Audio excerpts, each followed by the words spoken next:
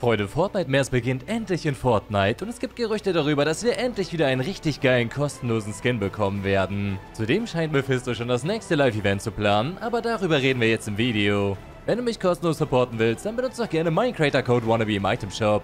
Und wenn du Bock auf ein richtiges Abenteuer hast, dann check das erste eigene Buch von mir und Bobby ab, denn obendrauf bekommst du noch ein exklusives, geheimes Video dazu.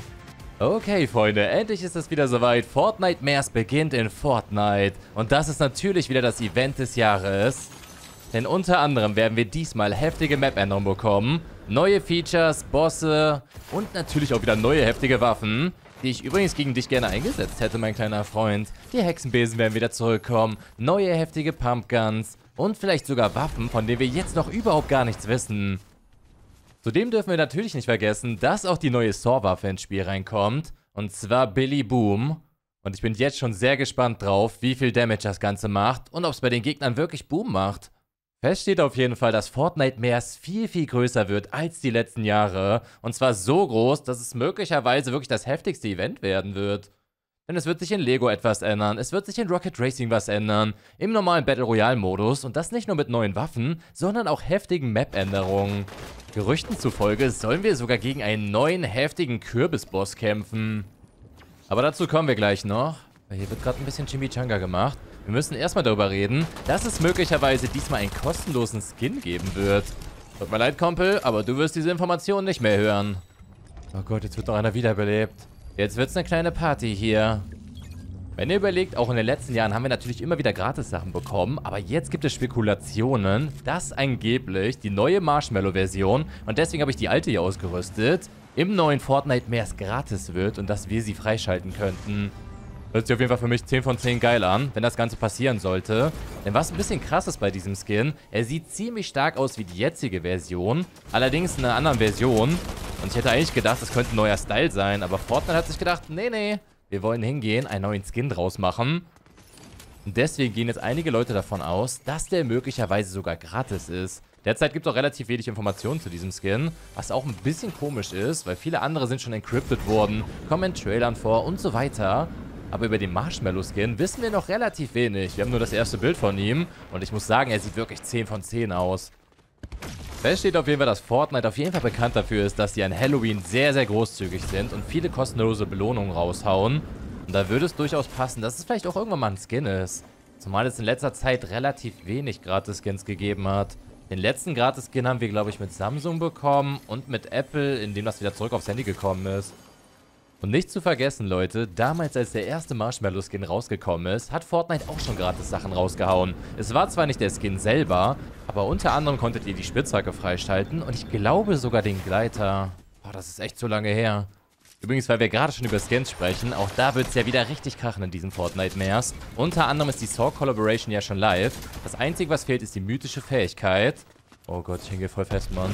Habe gerade ein bisschen Angst vor dem Typen. Leatherface wird hier auch noch reinkommen. Und natürlich der gute Mephisto. Zudem sollen auch alte Charaktere wieder zurückkehren. Unter anderem Michael Myers. Ich glaube, viele Leute haben Bock drauf, den auch nochmal zu kaufen. Und die werden uns auf jeden Fall in diesem Jahr auch wieder das Fürchten lernen. Ich gehe ganz stark davon aus, wenn das Ganze am 11. startet, werden wir immer wieder neue Skins bekommen, die mit dem Thema Fortnite mehr zu tun haben. Und die werden dann nach und nach in den Itemshop reinkommen. Ich muss gerade mal selber ein bisschen gucken, dass ich jetzt gerade nicht drauf gehe. Gefällt mir überhaupt nicht. Und was gibt es Geileres als die heftigsten Bosse? Natürlich Map-Veränderungen, die alles verändern werden.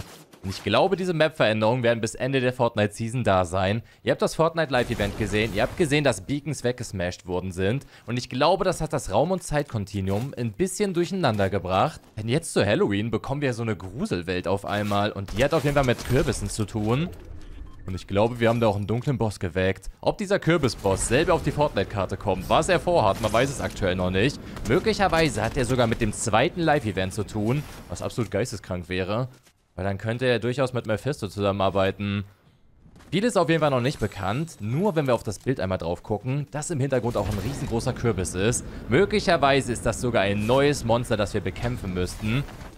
Es wäre auf jeden Fall 10 von 10 geil und es würde mich nicht sonderlich überraschen, weil wir haben ja in vergangenen Jahren schon mal gegen den Sturmkönig gekämpft. Das ist ja so der Boss in Rette die Welt und der ist ja damals auch schon giga groß gewesen.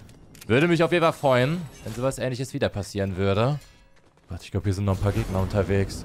Warum ist denn das heute so gruselig, Mann? Ist das, weil es dunkel ist? Fest steht auf jeden Fall, dass in diesem Fortnite-Meer sich drei Orte ändern werden. So, gehen wir kurz drauf. Dann kann ich euch auch sagen, welche. Und zwar zum einen bei Grand Glacier wird sich einiges ändern. Das ist ja aktuell so eine Riesenvilla und es soll so eine Haunted Mansion werden. Würde mich auf jeden Fall unnormal freuen, wenn das so eine Geistervilla auf einmal wird. Mit gruseligen Charakteren, vielleicht ein paar Jumpscares und so, dann wäre das Ganze auf jeden Fall schon 10 von 10. Zudem wird sich Brawlers Battleground ändern und ich glaube, das wird so die neue Main Location werden, weil wir dazu auch schon den ersten Teaser bekommen haben. Wie klopft es hier komisch bei mir? Ich weiß nicht, ob ihr das hören könnt. Das Gruselige kommt auch schon zu mir anscheinend. Da scheint auch dieser riesige Pumpkin-Boss zu sein. Wenn es denn wirklich einer ist und nicht nur Dekoration. Ansonsten glaube ich auf jeden Fall, dass der neue Kürbiskönig da auf jeden Fall sein wird und uns Aufgaben gibt. Dann wird definitiv auch Mephisto auf die Karte kommen. Wir haben jetzt auch endlich den ersten Teaser von ihm bekommen und wissen jetzt, wie er aussieht. Er wird ja in der Nähe von Castle Doom unterwegs sein. Genauer gesagt bei dem Turm. Und die letzte Änderung, auf die wir uns auf jeden Fall freuen können, ist bei Restored Reels. Dazu ist noch relativ wenig bekannt. Wir wissen aktuell nur, dass diese Rift Beacons da auch gelandet sind und ganz viele Kürbisse sind. Es wird aber auf jeden Fall gruselig werden. Zudem werden wahrscheinlich die Süßigkeiten wieder zurückkommen, damit wir endlich wieder Süßigkeiten oder Streiche machen können. Gilt auch für dich. Oh mein Gott. Hätte ja gar keine HP dabei. Und Süßigkeiten wahrscheinlich auch nicht. Boah, es klopft schon wieder. Was ist das? Sehr, sehr heiß diskutiert wird momentan auch die Kooperation zwischen Disney und Epic Games.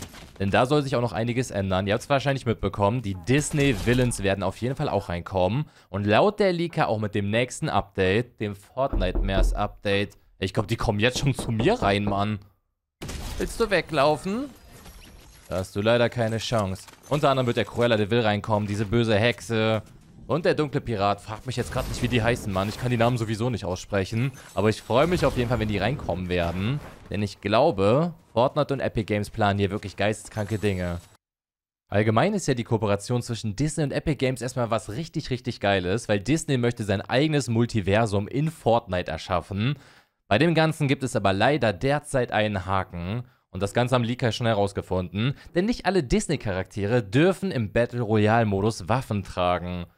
Besonders die kindergerechten Figuren, wie die aus Frozen zum Beispiel, sollen zwar in Fortnite auftauchen, aber nur in den nicht gewalttätigen Modis. Das bedeutet, dass einige Skins ausschließlich im Modi wie Fortnite Lego oder Creative Maps gespielt werden können. Und zwar genau da, wo Waffen keine Rolle spielen. Hört sich für mich auf jeden Fall schon mal ziemlich traurig an, weil ich glaube, dass viele Skins so gar nicht gekauft werden. Weil ich meine, was willst du mit dem Skin, wenn du den nur irgendwie zwei Modis von 10 spielen kannst? Aber ich garantiere euch, das ist die einzige schlechte Nachricht heute im Video auf jeden Fall. Denn besonders cool ist, dass der Horde Rush Modus auch wieder zurückkommen wird. Da habt ihr die Möglichkeit, Wellen von Zombies zu besiegen. Ähnlich wie das Ganze auch in Call of Duty der Fall ist. Das Ganze wird aber mit der Zeit immer, immer schwieriger. Und es werden immer mehr Horden kommen. Unter anderem auch diese komischen Gigabosse. Ich weiß gar nicht, wie die heißen. Die sind aber auf jeden Fall sehr, sehr unheimlich. Und ich bin gespannt darauf, ob das Ganze bei euch wieder sehr, sehr gut ankommen wird. Weil im letzten Jahr haben das, glaube ich, zwischenzeitlich auch über 100.000 Spieler gespielt. Aber kommen wir jetzt mal direkt zum wahren Endgegner von Fortnite Mers 2024. Und zwar Mephisto selber, denn dieser mächtige Bösewicht aus dem Marvel-Universum ist der Star des Events. Fortnite selbst hat ihn jetzt schon mal ganz kurz angeteasert und zwar in einem Trailer. Da sah der allerdings ein bisschen lieb aus. Und ich glaube nicht, dass der da so böse ist. Aber ich glaube, das wird sich im Fortnite-Mass-Event komplett verändern. Denn er hat am Ende einen finsteren Plan. Und zwar will er die Seelen der mächtigen Helden der Fortnite-Insel verschlingen, um seine Macht nochmal komplett zu steigern. Die Leaks deuten darauf hin, dass es am Ende des Events zu einem gewaltigen Lava-Showdown kommt, bei dem Mephisto sein Portal zur Hölle öffnet und die Insel in Flammen und Chaos stürzt. Würde wohl auch ein bisschen Sinn machen, weil wir so die Map verlassen müssen. Und danach kommt ja sowieso eine neue Karte mit OG Fortnite. Und danach sind wir in Chapter 6 unterwegs. Und das gibt irgendwo Fortnite ja auch die Chance, mit dieser Karte hier zu machen, was sie wollen. Im Endeffekt können sie sie auch zerstören, weil sie danach nicht mehr gebraucht wird. Gott, wie viele schießen hier gerade auf mich. Bin gerade ein bisschen abgelenkt. Heftig abgelenkt sollten wir auf jeden Fall nicht im finalen Showdown sein, denn laut der Leaker wird es zu einer epischen Schlacht kommen. Und zwar müssen wir gegen Mephisto und seine Monsterarmee antreten und die auf jeden Fall besiegen. Ich bin auf jeden Fall jetzt schon gespannt drauf. Wird es ein Fortnite Mares Live Event geben? Wenn ja, wird das Ganze auf jeden Fall 10 von 10 werden. Das glaube ich auf jeden Fall. Und die nächsten Wochen in Fortnite sehen ja sowieso extrem gut aus. Denn wir bekommen erst Fortnite Mers, dann ein Live-Event, dann gehen wir in OG Fortnite Kapitel 2 rein, sind dort einen Monat und danach sind wir schon in Chapter 6 unterwegs. Und ihr merkt ja selber, Fortnite hat sehr, sehr viel vor. Laut einiger Leaker da draußen und sogar größerer Streamer wird das Ganze in den nächsten Wochen noch viel, viel heftiger werden. Denn obwohl sehr, sehr viel gelegt ist, gibt es da draußen noch viel, viel mehr Sachen von Fortnite, die gerade in der Planung sind und von denen wir noch gar nichts wissen. Mal schauen, ob wir es jetzt noch schaffen, den epischen Sieg zu holen. Das Problem ist nämlich gerade, dass das Medaillon hinter mir her ist. Oh Gott, wie diese ganzen Gruselbosse. Ich würde das ja auch voll fühlen, wenn so Michael Myers auf der Fortnite-Karte wäre und uns irgendwie verfolgen würde. Wobei diesmal würde mir auch Billy the Puppet reichen. Oh, da seid ihr beiden doch. Ihr seid ja gar nicht so gruselig. Wird Zeit, euch auszuschalten. Oh, da kommt noch einer. Jetzt wird's eine kleine Party gerade. Vielleicht eine Halloween-Party. Wenn ihr euch ein Kostüm aussuchen dürftet, oh mein Gott. Als was würdet ihr an Halloween gehen? Ist egal, wie teuer oder nicht, schreibt's mal in die Kommentare rein. Ich versuche mal schnell abzuhauen hier. Nein, wir sterben am Ende. Leute, das ist das Ende des Videos. Wenn es euch gefallen hat, dann sehr gerne ein Like und ein Abo dalassen. Tragt gerne meinen Creator Code Wannabe im Item Shop ein, falls ihr euch irgendwas kauft. Und dann hören wir uns im nächsten Video wieder.